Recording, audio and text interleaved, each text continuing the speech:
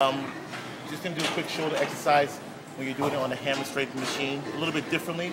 It's gonna be a slow tension, slow tension on the way up, slow back on the way down, constant weight on the shoulders, okay? It's almost like three seconds up, three seconds down. I'm gonna demonstrate it for you.